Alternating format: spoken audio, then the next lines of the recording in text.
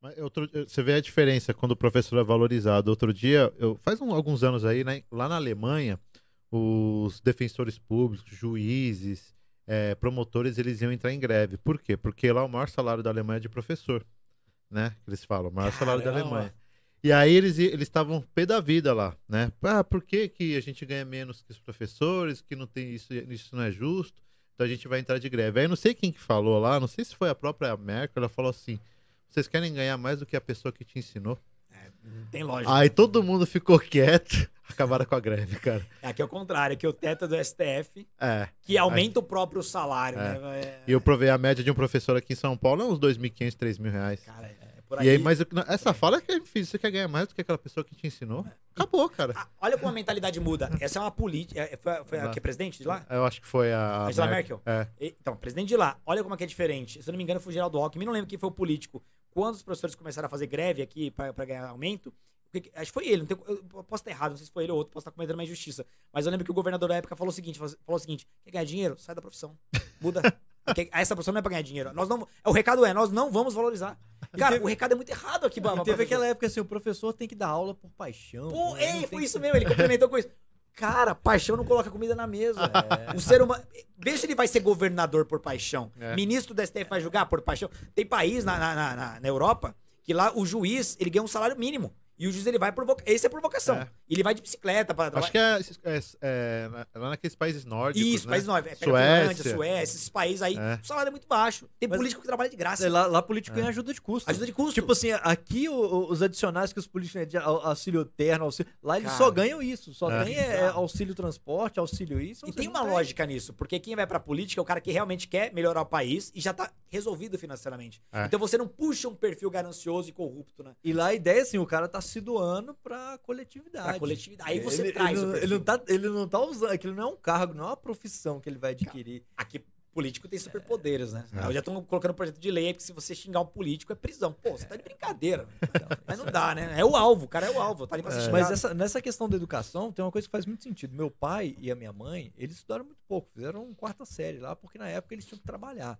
Então, assim, é, meus avós tinham aquela mentalidade de, assim, meus filhos têm que saber ler e escrever e pronto, para trabalhar. Né? E meu pai falava, na nossa época, era muito bonito o- os fazendeiros e tal que tinham filhos, profe- ah, o filho de tal é professor, o filho de tal é Que é professor. intelectual, né? E, cara- e eram filhos de quem tinha posse, que é, era professor, era médico, era advogado, era engenheiro, mas assim, é, ou, ou era professor.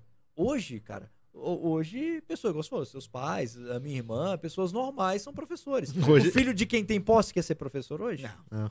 Não. Hoje a pessoa fala que é professor, o pessoal, a pessoa fala por dentro, coitado. É coitado, Coitado. exatamente. Então. Putz, você é professor, coitado. Sente um pouco de compaixão. né? E aí vem essa virada de jogo, né? Que a gente fala, "Pô, agora o filho de quem tem posse vai ser juiz, vai ser é, tá- vai ser político. Vai ser então político. tem que ser bem remunerado, tem que ser respeitado. Você vê que é professor, A não. cultura é poderosíssima, né? Tanto pra influenciar as nossas escolhas, mas pra influenciar o ambiente. Olha o ambiente de professor no Brasil. Eu tava levantando uma estatística, eu tô escrevendo um, livro agora que é justamente para professores. Depois a gente pode falar um pouco sobre isso, é só um parêntese mesmo. Mas é, eu levantei alguns números que são bizarros. A gente pegar lá não só a questão de índice de educação, mas o índice de satisfação dos professores, numa amostragem de centenas de países, o, o Brasil tá entre os últimos. E, e, e é uma percepção dos professores e de quem enxerga os professores, analisar os dois públicos. Então, assim, é, não é bem visto, não é bem remunerado, não tem uma boa qualidade de vida, trabalha pra caramba, um retorno baixíssimo, não tem reconhecimento. É terrível. Entra em depressão direto, né? Depressão direto. Pô, eu- minha mãe, eu lembro quando ela falava que ela estava em final de carreira, ela começou a passar em tratamento psicológico. E ela, ela me falava o seguinte, falou, Diego, eu achei que... Eu, eu comecei a querer sair de lá, porque ela ia na, na clínica, é uma clínica só pra professores. Ela falou que tinha gente louca, em estado de loucura. Nossa tinha uns professores no corredor lá, que surtavam, e ficava assim, ó, número um, número dois, fazendo chamada, né? No corredor da- do, do hospício lá. Então era um negócio Nossa, bizarro, cara. era um negócio... Chega nesse estado, é porque não, a gente não tem informação, né? Não chega até as pessoas. Mas isso tem, tá? É, O, universo dos professores é terrível. Então, quando eu conheci esses profe- professores da LFG e vi que tinha mais, tinha o Damásio também, tinha outros, eu, cara, existe um outro mundo que eu não conhecia. E é um mundo que eu gostei. Ali eu me identifiquei. Talvez por conta da genética dos pais, eu pensei, bom, eu consigo fazer isso. Meus pais conseguem. Eu quebrar aquela trava da, da possibilidade. Mesmo não falando, tem gente na minha casa que faz, eu consigo aprender. Então, pelo menos, eu não tive medo de aprender, de encarar. Então, a partir dali, eu comecei a meio que desencantar um pouco com os concursos.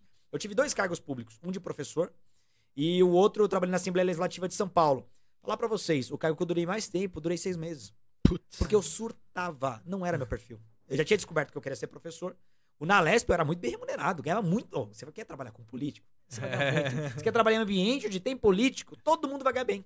Que é um efeito cascata, aumenta o salário de um, aumenta todo mundo. É. É, muito benefício. Eu ganhava muito bem lá, trabalhava pouco e trabalhava porque eu queria, porque os meus colegas trabalhavam, trabalhavam nada, os colegas enrolavam. Mas eu trabalhava bem mesmo, que eu, tinha, eu tava num ritmo acelerado, eu sempre fui acelerado. E, ao mesmo tempo, no outro cargo como professor era o contrário. Ganhava muito mal. Trabalhava pra caramba, muito mal. É xingado. Cara, eu passei em sete concursos pra, pra professor, eu- e, e eu fiz sete passei no sete. que legal. É, in- inclusive dois em primeiro lugar. Porque eu queria muito ser professor, mas eu não conseguia oportunidade. Ninguém me dava oportunidade. Ah, chama o Diego, acabou de sair da faculdade, vai ensinar penal. Não vai. Não vão chamar um moleque ali. Então, eu comecei a fazer pra incrementar o meu currículo. E um deles me chamou, mas só que me chamou depois de três anos que eu tinha passado. Então, já me chamou numa fase que eu comecei a pegar os preparatórios. aí. Mas eu fiz. Eu fiz que ainda não tava estabelecido nos preparatórios, e já era advogado, então eu fiz pra sentir. Cara, é desumano. É, né? Eu lembro que a hora aula era 17 reais, sendo que isso era acima da média. Porque eu dava aula numa escola acima da média, que era as ETECs. Então Sim. pagava mais do que Ah. o- a hora aula de um professor de escola pública comum, assim. É, e mesmo assim, cara, não dá porque você tem atribuição de aulas. A minha eram duas aulas por semana, três aulas por semana. Cara, não tem como sobreviver com isso. É impossível. Ganha muito mal, Não né? ganha muito mal. Você- e você não trabalha só na sala de aula. Você prepara a aula, corrige prova, prepara trabalho. A, a coordenação te obriga a mexer no sistema, lançar notas, tem que fazer outras coisas. Muito além da sala de aula. A sala de aula é um, é pedacinho. E se a sala de aula é boa, muitas vezes recompensa tudo. Mas quando não é, aí acabou. Aí é a hora que o professor começa a perder o brilho nos olhos. É. Aluno que não respeita, que não quer ouvir. Isso é muito claro. Tá? xinga. Xinga, não É. tá nem aí pra nada. Eu não tive muito esse problema, porque eu, eu fiquei pouco tempo e eu peguei duas turmas muito boas. Uma que era muito bagunceira, mas por alguma razão eles gostaram de mim. É, meio que rolou. E uma outra que era é, na mesma cidade, é bizarro isso. Era ETEC também, na, na mesma cidade, mas todo mundo muito educado e aí rendeu pra caramba. Então ali eu comecei a entender como uma sala de aula muda. É. Que se a sala de aula é muito ruim, o professor É. não pô, vai chegar, vai perder o brilho no olho rapidinho. Se a sala de aula é muito boa, cara, você vai trabalhar de graça. É muito louco. Mas é isso daí interessante que você falou, porque a gente leva isso hoje pro cursinho pra concurso. O cara que compra o curso, o cara que tá pagando, o cara que. é- ele tá lá porque ele quis. Ele quis, É. selecionou o público, exatamente. Aí o professor não vai ter dificuldade do cara ficar. é, que ele não quer estudar, que ele. Porque, ó, é mais ou menos assim, eu não te chamei aqui. É. Você tá aqui porque você quis, você comprou meu curso porque você quis. Então, aproveita, cara. Porque aqui não é colégio, aqui que você é obrigado aí, né? É. Essa é a diferença de ser professor de cursinho, por exemplo, né? E até cobrança da coletividade, né, cara? Os colegas que estão ali, se É. você tá num cursinho ali presencial, Cara. tá todo mundo querendo aprender. Se você dá É. uma. Você começa a ver, meu, para aí, tá Não dá pra enganar. Você É. disse Tá tudo, não dá pra enganar. Porque é muito bom é, essa, isso que vocês falaram, porque tem uma divisão clara ali nos ambientes. Você olha pra, pra escola pública, por exemplo, ou numa faculdade. Eu passei por isso. Existe um verdadeiro pacto de mediocridade ali. Porque quem tá ali, tá ali por obrigação. Então, o professor finge que ensina e o aluno finge que aprende. E todo mundo passa de ano fingindo que aprendeu. É assim.